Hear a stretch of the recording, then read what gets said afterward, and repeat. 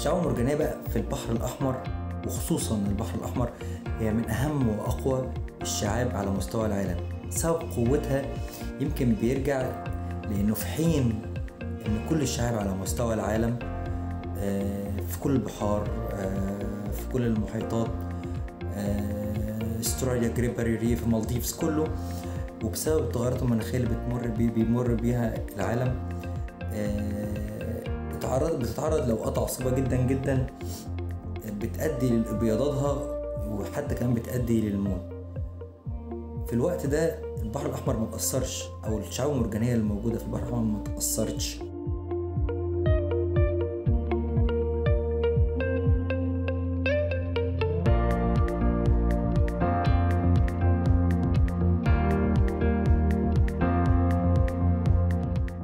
الأنكر بتاع الشعب ودمر سنتي على مدار 20 سنة كانت بتدمر الشعب المرجاني نظام الشمندرات من أكبر المشاريع.